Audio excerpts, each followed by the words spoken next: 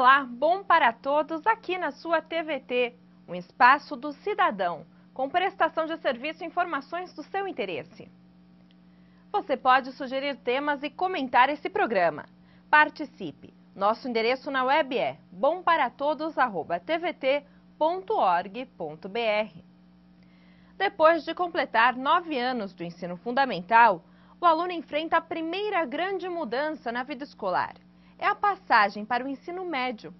Isso coincide com a fase de transição da infância para a adolescência. No Bom para Todos de hoje, vamos falar sobre esse período que marca o fim de um ciclo e o começo de outro. Enfrentar as mudanças e oferecer segurança aos alunos depende do esforço de todos, educadores, pais e alunos. A passagem para o ensino médio representa para o jovem maior independência familiar, novas conquistas, maior autonomia e liberdade, novos interesses até nos namoros.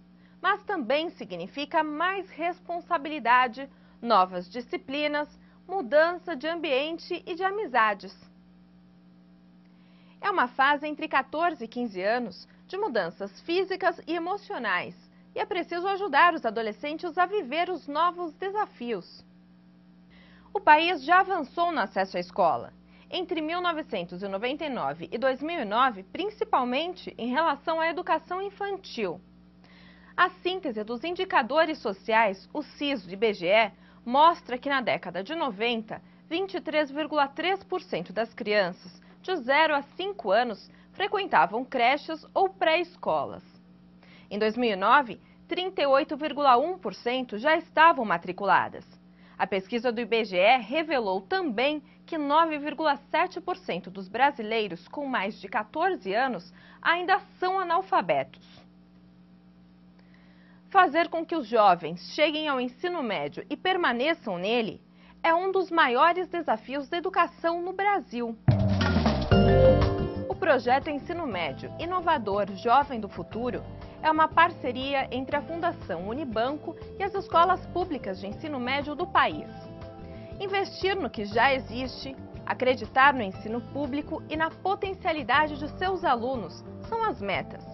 Os resultados surpreendentes provam que um bom ensino básico é o passaporte para a entrada no mercado de trabalho e na universidade.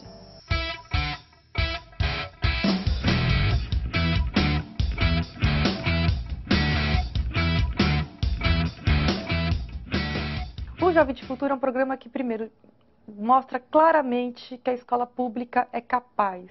É possível a gente ter bons resultados na escola pública, né? Então, o Jovem de Futuro foi uma tentativa de produzir fatores de êxito numa escola qualquer.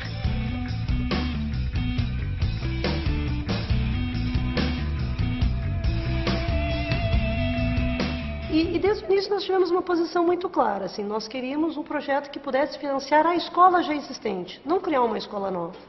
Isso foi bem positivo, porque deu para concretizar de que escola pública de qualidade é possível. Ela é formada por uma comunidade de classe baixa a uma média baixa, mas uma comunidade muito especial. As vagas dessa escola são bastante disputadas. E não basta para nós que ele comece o médio.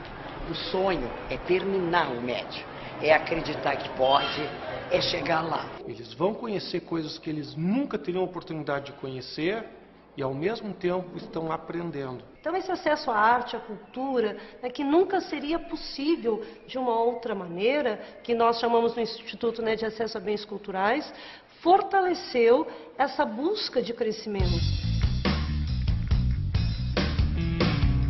Quero fazer psicologia. Fisioterapia. Biomedicina. Não, eles não são modernos. Medicina. Economia. Engenharia civil. Psicologia. Antes do projeto, a escola já vinha fazendo um bom trabalho. O projeto possibilitou melhorar? Sim.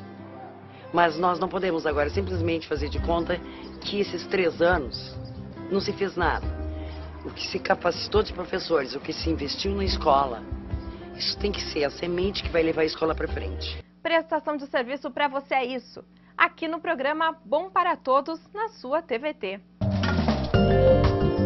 A qualidade do ensino e as parcerias entre poder público e empresas rende frutos Afinal, a educação, já vimos, é a base para o desenvolvimento real e não só crescimento econômico. Está aqui no Bom para Todos Osvana Famelli. Ela é diretora regional do CIESP, Sindicato dos Estabelecimentos de Ensino do Estado de São Paulo, para o ABC. Ela é mestre em educação. Também está aqui comigo Silvia Tavares Cabral. Ela é psicóloga, psicopedagoga e neuropsicóloga. Fomos às ruas para saber quais as dúvidas da população sobre como acompanhar as mudanças à vida escolar dos jovens. Fique ligado, as dúvidas podem ser as mesmas que as suas.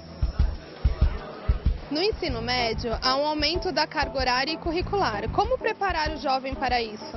Tudo isso no Bom para Todos, daqui a pouco, depois do intervalo.